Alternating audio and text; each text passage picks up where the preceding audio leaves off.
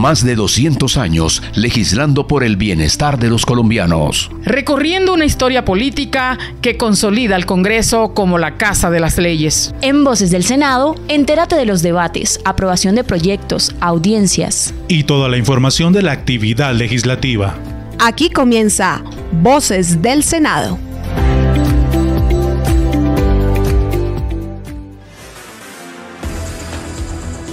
Aquí estamos, amigos y amigas. Hoy es 12 de mayo, Día del Señor, Día de la Madre. Felicitaciones para las progenitoras, para esas mujeres valientes, entregadas, abnegadas, mujeres resilientes, mujeres de paz, conquistadoras y luchadoras. De manera especial, doña Gloria Muriel de Fruto en Santo Tomás Atlántico y por intermedio de ella a todas las madres del país. Aquí arrancamos Voces del Senado, programa institucional del Senado de la República. En nombre de Iván Name, extiende su saludo cordial el presidente de la Corporación, Robinson Castillo Charris, jefe de información y prensa. Bienvenidos a la información. Queremos en este domingo presentar otros apartes de lo que fue la intervención del presidente Iván Name en la plenaria del Senado de la República. Completo informe que registra a esta hora Rodrigo Elías Meléndez. Estimado Pepe, muy buenos días, feliz domingo para ustedes, los oyentes y los compañeros. Permítame presentarle la segunda parte del discurso que ofreció el presidente del Senado, Iván Name Vázquez, ante la plenaria del Senado el día martes, como defensa de las acusaciones que ha recibido en los últimos días. De tal manera que quienes hoy me apuntan, de una manera, puede que el tiro no les salga en la dirección en que apuntan. El país entero sabe que soy opositor a los proyectos de iniciativa del gobierno, no, sistemáticamente. El presidente Name se reafirmó como opositor a la mayoría de las reformas que ha presentado el gobierno del presidente Gustavo Petro ante el Congreso e hizo énfasis en la vez que aplazó por dos veces la plenaria para darle tiempo a la Comisión Séptima del Senado de debatir la reforma a la salud que finalmente hundieron en esa célula legislativa. El día de la reforma a la salud, también lo saben, le di el tiempo suficiente para que la Comisión Séptima pudiera decidir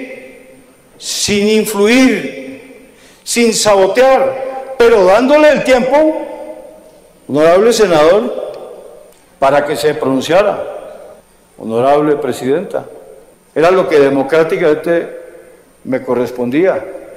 Además lo hacía con gusto, porque es una reforma a la salud que no comparto. Cuando ya la Comisión Séptima se pronunció después de dos aplazamientos de mi parte ese día, ciertamente para dar el tiempo para, para su decisión, entonces abrí la plenaria. ¿Saboteo? No. El tiempo de la democracia que debía tener una comisión y finalmente la comisión tomó una decisión. El presidente Name desestimó la validez de las acusaciones porque, según su parecer, provienen de un corrupto y de un abogado que tampoco tiene autoridad moral para juzgar. Entonces, honorables senadores, esas acusaciones infundadas realizadas por un corrupto que se encuentra en una encrucijada judicial, respaldadas por un abogado con prontuario internacional, no sé con qué tarjeta de abogado litiga todavía hoy. Eso habremos de preguntarlo a los encargados de esa responsabilidad. Termino entre leyendo y hablando, susurrándole al oído a mi padre que se fue hace tanto, que los hombres no mueren sino cuando los olvidan. Me presento sabiendo la gravedad del momento y les auguro a todos a quienes tanto amo, ¿por qué no decir del amor cuando se siente? Con la admiración profunda por cada uno incluidos algunos que de pronto no tengan esa correspondencia conmigo. El gran dolor para mí y para mi familia lo reservo para la intimidad. No será una bandera política para quienes no tienen rostros, sino que tienen máscaras y que guardan los odios indescifrables en su alma. Me defenderé de las acusaciones como me he defendido de todos los infundios de que he sido objeto y esta infamia no habrá de derribarme. Gracias, porque algún día, con su voto o sin él, encargaron de esa tribuna. El presidente Iván Name Vázquez concluyó su intervención asegurando que habrá de defender el honor que le concedieron al colocarlo al frente de los destinos de la presidencia del Senado en esta legislatura 2023-2024. Rodrigo Meléndez, Voces del Senado. Situación de orden público al interior de las universidades públicas, lo más reciente en la Universidad Nacional de Bogotá. Hablamos con la senadora Karina Espinosa y el informe lo presenta Diana Morales. Muy buenos días para todos nuestros oyentes que nos escuchan a esta hora. Así es, Pepe. Iniciamos las noticias de hoy con un tema que ha generado preocupación por estos días. Se trata de la alteración del orden público al interior de las universidades públicas. Es por esto que la senadora Karina Espinosa nos habla de este importante tema. Yo he venido repitiendo que nosotros tenemos que volver a educar en principios y valores a todos desde niños, desde pequeños. No es posible que esto esté pasando. ¿Cómo es posible que en un centro eh, de educación superior se enfrenten personas o eh, usen papas calientes eh, para hacer llamados de atención, como dicen por ahí, no pase nada. Y no es nuevo, esto no es nuevo, esto es una historia larguísima de años, cuando no es por el rector, es por tema de recursos, cuando no es por tema de recursos, por temas de pensamiento, ideología. Entonces yo no entiendo qué es lo que pasa. Eh, yo pienso que también hay que hacerle un llamado a los rectores y a los educadores y a los docentes. O sea, tenemos que construir paz. ¿Cómo pretendemos lograr la paz en Colombia si ni siquiera logramos la paz en las instituciones, en las instituciones educativas públicas? que se suponen son símbolo nacional de educación. Es para que fueran símbolos de paz, si es lo que queremos transmitirle al país. Entonces hay que hacer un llamado, yo también pienso, a todos los que tienen la responsabilidad de las instituciones educativas y definitivamente volvernos a educar desde pequeños si nosotros queremos lograr la paz. Sé que no es un proceso de cuatro años, que podemos demorar en esto 20 años, pero tenemos que volvernos a educar en tolerancia, en respeto, en amor, en paciencia, en entender las diferencias. Gracias, senadora. Diana Morales, Voces del Senado. Atención, hay quienes se preguntan si la paz total está desestructurada. Hablamos con el senador Ariel Ávila y también con Sandra Ramírez del Partido Comunes. La noticia con Alexander Ariza. Dados los avances que ha tenido el gobierno actual en los diálogos con los grupos armados al margen de la ley como el ELN, políticas que garanticen los procesos de negociación como la ley de paz total llegan en buen momento para el país. No obstante, han sido varios los cuestionamientos a la efectividad de esta norma. Sobre el hecho, el senador Ariel Ávila de la Alianza Verde hace su análisis. No, yo sí creo que la política de paz total del gobierno Petro tiene una crisis y una crisis profunda. La mesa con el, el autodenominado Estado Mayor Central no logra encontrar un camino. Cada día está más en crisis, ya además hay una aceptación de una división profunda. El ELN es una agenda mucho más sólida, un cronograma más sólido, pero se avanza lentamente, aunque yo creo que en unos 15 días se va a firmar un acuerdo parcial, lo cual le va a dar un impulso a la negociación. Con la segunda Marquetalia, pues es una negociación fácil en lo pragmático, porque están derrotados, pero jurídicamente hay que encontrarle un camino. Así que se está pasando por un vía crucis, eso es innegable. Como firmante de la paz, la senadora del Partido Común, Sandra Ramírez, da su lectura sobre esta situación. Hablar de la paz total es muy complejo. Son derechos, son oportunidades, son dignidad, son garantías de vida. Y por supuesto que entendemos que por más esfuerzos que está haciendo el señor presidente de la República por la paz, por lograr la paz total, hay una serie de obstáculos inmensos que hay que superar. Por eso nosotros insistimos que implementar el acuerdo nos va a permitir superar las causas que originan los conflictos. Y implementarlos, el acuerdo no es otra cosa que la reforma rural, eh, la participación política, la educación, la salud, que en eso resalto enormemente y en todos los aspectos que el gobierno sí está haciendo esfuerzos por cumplir con el proyecto político de la paz. La presente ley de paz total, recordemos, es una iniciativa gubernamental que busca negociar con los grupos armados y las bandas criminales para lograr una desmovilización dirigida desde los altos mandos, pero que se ha visto afectada desde finales del año 2022. Alexander Ariza, Voces del Senado. ¿Qué pasa con un tema de nunca acabar? Agua potable en La Guajira. ¿Cuándo llegará? ¿Qué pasa en La Guajira? Hay eh, noticias positivas por un lado en el sentido de Manaure que estrena acueducto. Informa Hernando León Vanegas. Si de algo puede estar orgulloso cada uno de los habitantes de Colombia es de la belleza exótica que se destaca en el paisaje multicolor del departamento de La Guajira, que hoy por fin tiene agua potable. Así lo manifestó la senadora Marta Peralta. Esto va a permitir que alrededor de 480 familias se beneficien y tengan acceso al agua potable. Vamos a seguir trabajando, se vienen otras gestiones y otras eh, alianzas que vamos a seguir liderando para que este gobierno pueda ayudarnos a solucionar de fondo esta crisis del agua que vive nuestro departamento. Desde la Comisión de Asuntos Presupuestales, su vicepresidenta Aida Abella destacó la capacidad de la nueva planta de agua potable en La Guajira, que en nada podría envidiar los alcances de Chingaza. Y yo sí creo que el agua que empieza a llegar, por todos los medios estamos haciendo lo posible para que nuestra gente en La Guajira no siga muriendo de sed. Tenemos las represas del cercado, 198 millones de metros cúbicos de agua. 198 millones de metros cúbicos de agua, 22 millones menos que en Chingaza, en Bogotá. En Chingaza recibimos 6 millones 400 mil habitantes el agua potabilizada y en La Guajira no recibe nadie. Esa habernos quitado la emergencia económica realmente ha afectado mucho a La Guajira. Están escuchando Voces del Senado.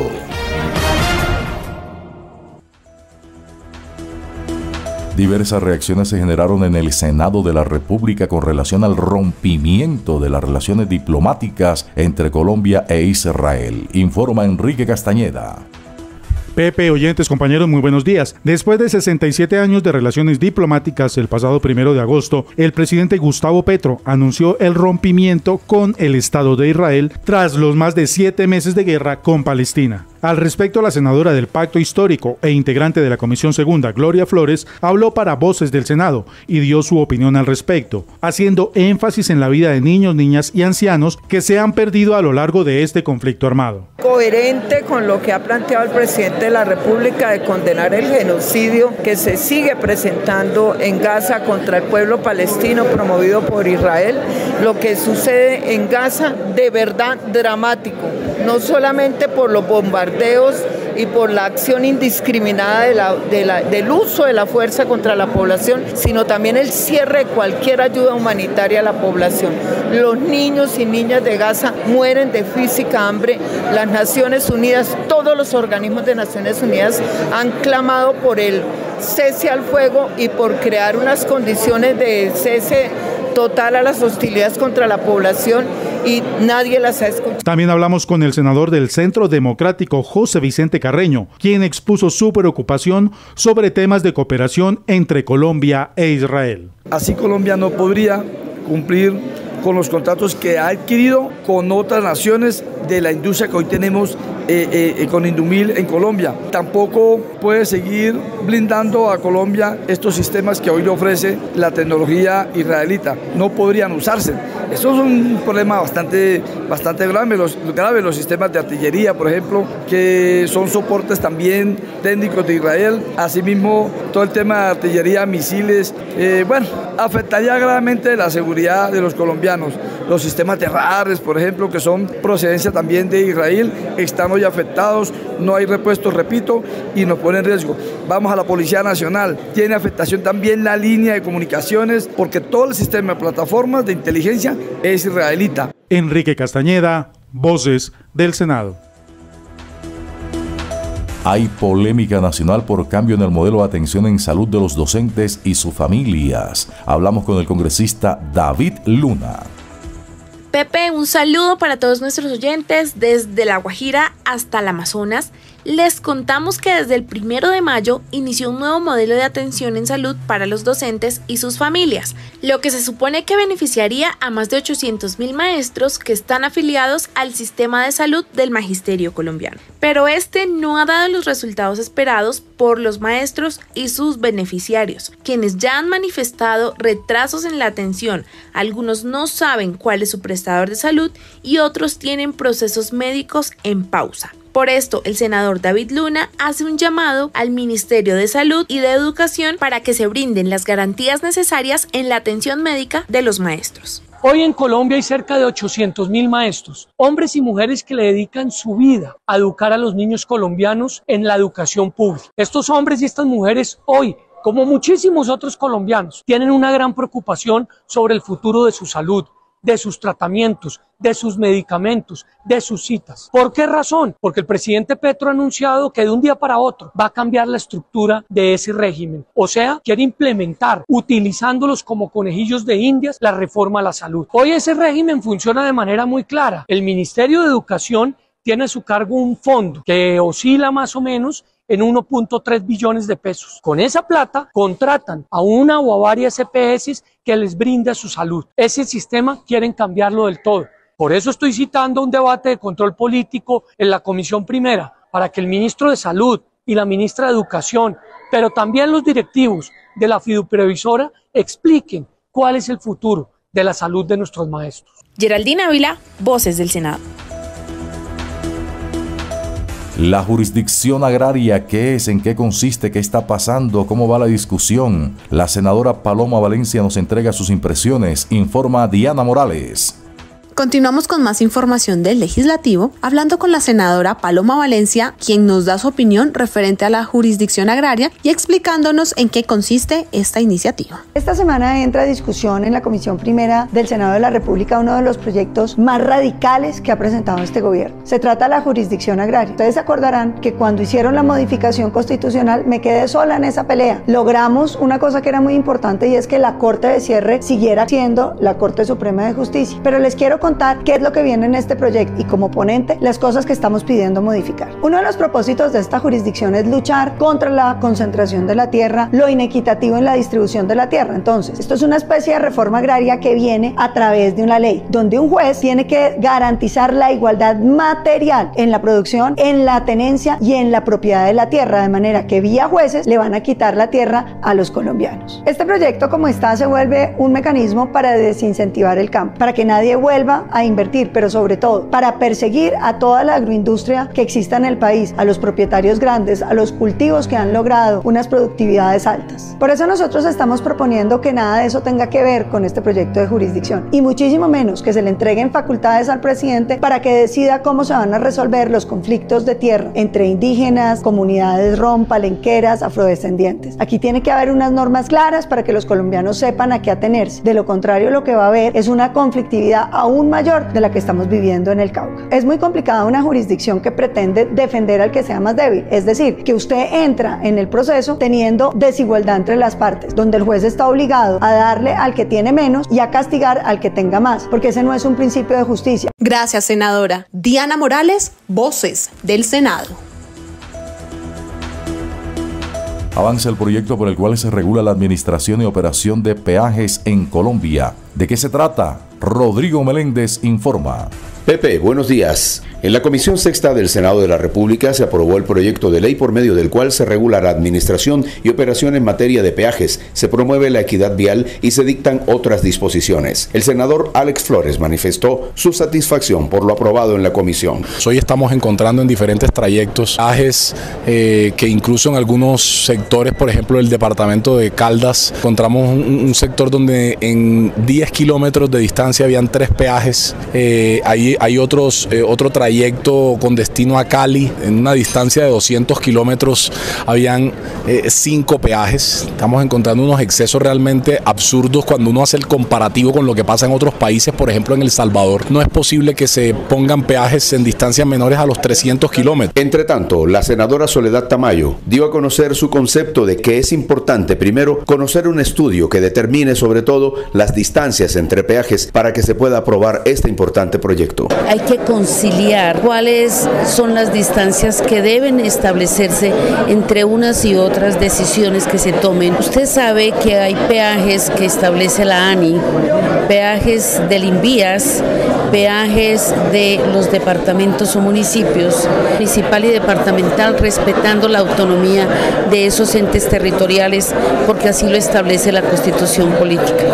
La iniciativa fue aprobada en comisión y pasará a plenaria para su segundo debate. Rodrigo Meléndez, Voces del Senado. Aprobación del proyecto de ley Lorenzo que busca garantizar la vida de los animales en oficios de seguridad. Hablamos con la senadora del departamento de Sucre, Ana María Castañeda, y también con Andrea Padilla, congresista de Colombia. Alexander Ariza presenta el desarrollo informativo. Pepe Oyentes, muy buenos días. Pues a plenaria avanza el proyecto denominado Ley Lorenzo, que busca incrementar de manera significativa las condiciones de bienestar de animales utilizados en actividades de seguridad y vigilancia. La actividad, aprobada en la Comisión Sexta, contó con la ponencia de la senadora Ana María Castañeda del partido Cambio Radical, quien manifestó. Hace referencia a Lorenzo por un incidente que pasó en mayo de 2022 con un perro de vigilancia. Sin duda queremos trabajar fuertemente por la protección y bienestar de los animales. Hay labores esenciales y hay otras que se pueden lograr progresivamente ir desmontando y reemplazando por la tecnología, porque ese es el sentido, avanzar, proteger a nuestros animales, que haya un equilibrio entre nosotros y ellos y la naturaleza. Sobre el particular, la autora del proyecto, la senadora de la Alianza Verde Andrea Padilla, manifestó que también se busca que MinCiencias trabaje en el desarrollo de innovación tecnológica para así sustituir a los animales progresivamente es que todas las empresas deban tener un plan de retiro para los perritos que ya no siguen en la actividad, que el Ministerio de Ciencia y Tecnología deba desarrollar innovación tecnológica para que progresivamente se ir sustituyendo los perritos utilizados en la modalidad de defensa controlada, que el contratante tenga también responsabilidades plenas en las condiciones de bienestar de los perritos y en general un paquete de medidas de bienestar para que, entre otras cosas, se reduzca la edad de utilización, tengan más espacio de esparcimiento. La iniciativa, que ya contó con su primer debate, se espera que en los próximos días sea discutida en la plenaria. Alexander Ariza, Voces del Senado. Esta es la nota musical en el domingo Día de las Madres. Saludamos a las madres colombianas, a las campesinas, a las afrodescendientes, a las mujeres bogotanas, a las costeñas, a las madres colombianas en este día domingo. Presentamos también la nota musical sobre Guillermo Uribe Holguín. ¿Quién era? ¿Qué hizo? Marlon Yepes informa. Un saludo muy especial para toda la comunidad que nos escucha nuevamente a través de la Radio Nacional de Colombia.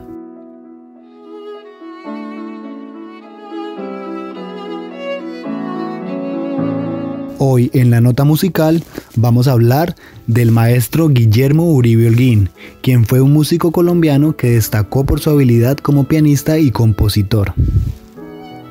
Su principal aporte en nuestra cultura fue la difusión de la música colombiana a nivel nacional e internacional, fusionando diferentes géneros musicales y adaptando melodías tradicionales a su propio estilo. Durante su carrera se pueden destacar varios momentos importantes, como su participación en la fundación de la Orquesta Sinfónica Nacional de Colombia en 1967, donde se desempeñó como director musical durante más de 40 años. También es reconocido por ser el autor de la obra Suite Colombiana, una serie de piezas musicales que han sido consideradas como un referente de la música colombiana contemporánea.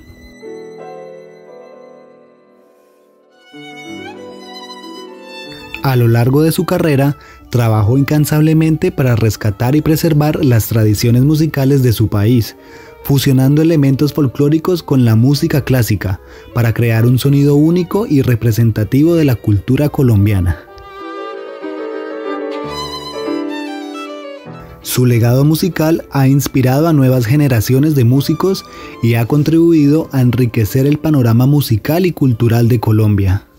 Guillermo Uribe Holguín nos enseñó la importancia de valorar y celebrar nuestra diversidad cultural a través de la música y nos dejó un legado invaluable que seguirá resonando en la historia musical de toda Colombia.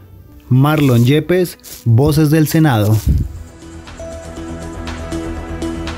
Finalmente, oyentes de Voces del Senado a través de la Radio Nacional de Colombia, les presentamos qué fue lo más viral esta semana en el Congreso de la República informa Geraldine Ávila. Y en lo más viral de esta semana, el país ha sido testigo del escándalo que envuelve a la Unidad Nacional de Gestión de Riesgo. Muchas han sido las opiniones entre los senadores en sus redes sociales. Algunos culpan al gobierno, otros muestran su apoyo a este. Pero hay una pregunta que surge a raíz de toda esta situación. ¿Qué pasará con las reformas que se tramitan en el Congreso? ¿Alcanzarán los tiempos? Pues bueno, el senador Ariel Ávila en su cuenta de Instagram publicó un video donde explica un poco mejor cómo se verían afectadas las reformas propuestas por el gobierno del presidente Gustavo Petro. Y como ustedes lo saben, las cuentas en las legislaturas se hacen por semanas y por días de discusión. Y a esto le quedan seis semanas, seis semanas y media de legislatura hasta el 20 de junio. Por ende, es un tiempo muy apretado aún en escenarios normales. A la reforma pensional le faltan los dos debates en Cámara, Comisión y Plenaria. también le faltan eh, debates a la reforma a la educación, también le faltan debates a la jurisdicción agraria, que promete ser muy candente, al menos en comisión primera, por la cantidad de proposiciones, es decir, aún en un escenario de tranquilidad, esto va a ser complicado. Pero con el escándalo de la Unidad Nacional de Gestión de Riesgo, pues esto sí va a ralentizar muchísimo el debate. Por tres razones. La primera y que es además la obvia que muchos senadores así quieran apoyar genuinamente las reformas, pues van a tener miedo que los tildes que están recibiendo dádivas, senadores o senadoras, a cambio de votar las reformas. Entonces esto sencillamente puede llevar a que mucha de esta gente decida esconderse o no dar el debate. Lo segundo, porque van a haber recusaciones. Seguramente la oposición va a utilizar muchas recusaciones para pues llevar a que muchos congresistas no voten y eso van a demorar mientras, mientras se solucionan esas recusaciones. Y lo tercero, por el propio ambiente político, porque pues todo indica que a esto le falta varias informaciones por salir. Así que esto va a ser bastante duro para las reformas. Geraldine Ávila, Voces del Senado. De esta manera llegamos a la parte final de Voces del Senado, el programa institucional del Senado de la República. El presidente de la corporación es Iván Name Vázquez. Robinson Castillo Charris, jefe de información y prensa. En nombre de los comunicadores, Rodrigo Elías Meléndez, Hernando León Vanegas, Enrique Castañeda, Alexander Ariza, Marlon Yepes, Diana Morales, Geraldine Ávila y José Alfredo Fruto, le decimos gracias por acompañarnos. Que Dios los bendiga enormemente. Feliz fin de semana. Nosotros nosotros nos reencontraremos una vez más aquí la próxima semana en la Radio Nacional de Colombia para presentar Voces del Senado. Por su amable compañía, gracias. Hasta entonces, permiso.